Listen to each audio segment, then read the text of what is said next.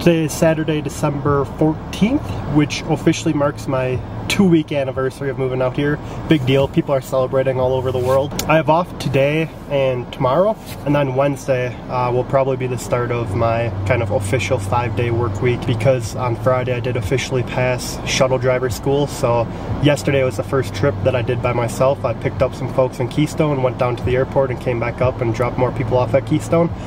So yeah, I'm the I'm the real deal now. I'm a I'm a official shuttle driver.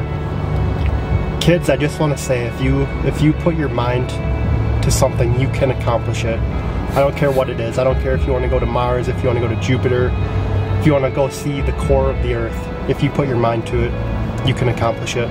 If you want to be a shuttle driver, you can be a shuttle driver. Today is hopefully going to feature another hike. I'm going to head over to a town called Frisco, which is just a few miles southwest of Silverthorne. I want to do a hike over there. I'm hoping I can do the one I want to. The snow might be a little bit too deep, so it might be kind of tough. Uh, we'll see. It's only a four mile trail, but it's probably going to be the toughest one I've done so far. It's got a climb of almost 1,200 feet. There's a few inches of snow on this pathway, so I don't know if this hike is going to work out. Hopefully some people have already taken this trail the past couple days, so they've packed down some of the snow for me. 25 miles per hour? They know who I am? I hike way faster than that. I'm not obeying that traffic sign. I hike 25 miles per hour in my sleep. There's our sign. There's our sign. Here's the trail. Not packed down at all. I don't think it's gonna happen today. I actually don't think that was the trail right back there. I think I just found the trail here and we're off. And our eventual end spot is gonna be up there. On a side note, I don't think I'm gonna do any Bear Grylls shots today. This one might be a little too steep for me to keep going back and forth all the time. Sorry guys, I know you love them.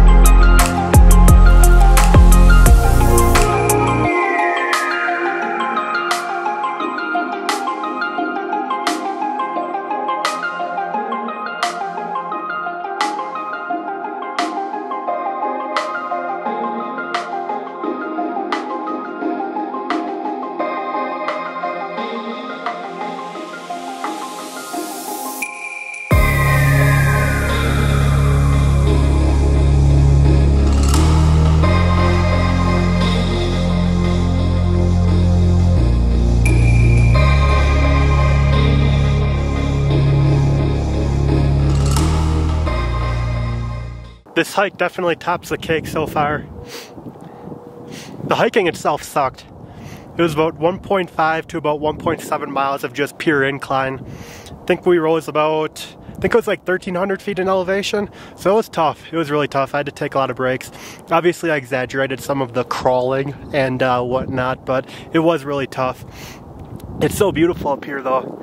The only thing I don't like about it is that you can hear the freeway pretty well. And it's also pretty chilly today. I'm pretty sure I've got grade 1 frostbite in my feet right now. Probably grade 2 frostbite in my, my fingers. I don't know if those grades are real. I, I don't think that's a real thing, but you get the gist of it. I'm pretty cold. But it is so peaceful. That's all I-70 along here. So that's ground level. That's where I started. And actually, that right down there is the parking lot where the hike started. For some reason, being in that gondola on Breckenridge scared me, but being up here doesn't scare me. I don't really understand my fear of heights. You can actually see some of the snow start to come in behind me right here, so I think it's probably time to get out of here. It'd be cool to be up here when it's snowing, if you could actually see, but I'm pretty sure it's just gonna take my own visibility.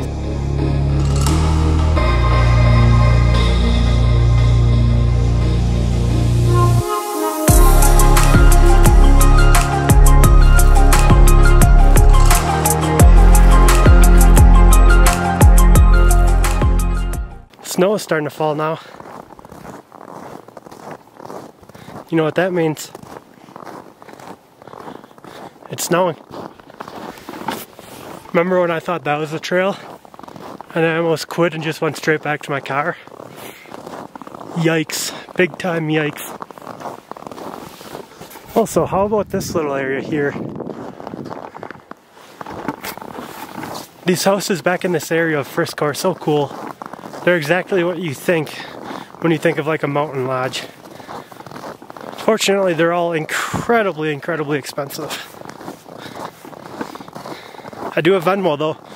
If you have any disposable income that you're uh, looking to get off your hands, maybe for tax reasons, maybe you want to give a little $10,000 write off gift to a friend. It's just a thought. I mean, come on. Come on, how cool is that?